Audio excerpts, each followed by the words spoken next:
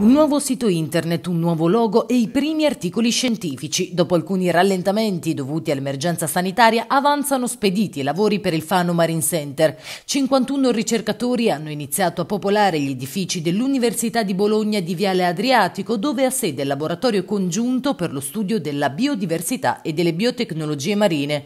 Proseguono anche i progetti dell'acquario e del rinnovo dell'edificio. Ci saranno otto vasche di volumi variabili tra i 2 e i 27-30 mila litri per un totale circa di 60, met eh, di 60 metri cubi d'acqua. Si passerà da ambiente pelagico, ambiente costiero, eh, si inizia con una vasca con le fanerogame, i cavallucci, gli pesci ago, poi si passa alle meduse, coralligeno.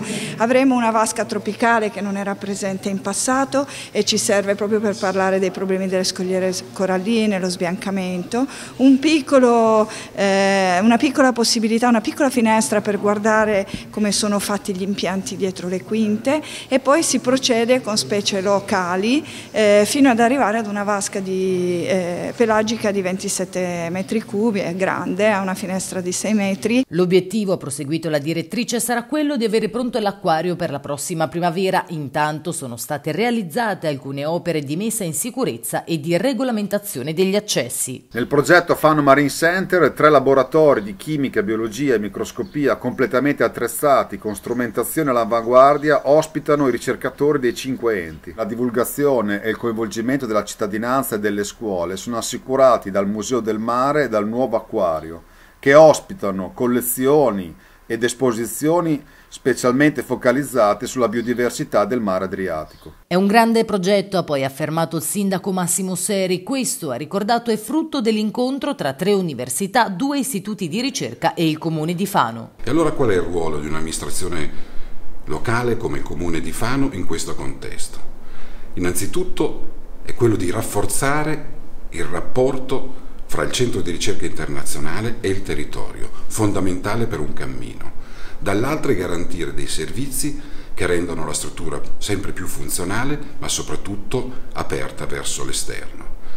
Perché fare ricerca non è solo sviluppo e progresso, ma anche condivisione. E dal comune di Fano, dopo il lockdown, è arrivato il via libera ai lavori di ristrutturazione dell'edificio che consentiranno di bandire nei prossimi mesi le gare edilizie. Invece, prima dell'interruzione delle attività, sono stati attivati gli spazi dedicati alle riunioni e agli ambienti di lavoro condivisi per un totale di 50 postazioni utente su una superficie complessiva di 300 metri quadrati. Il contributo del CNR al Fano Marine Center si sta sviluppando attraverso numerose traiettorie di ricerca e di cooperazione tra queste l'avvio di studi scientifici congiunti, alcuni dei quali hanno già prodotto pubblicazioni eh, su riviste scientifiche internazionali su temi molto attuali, ad esempio l'accumulo di sostanze inquinanti negli organismi marini oppure lo studio del microbioma marino.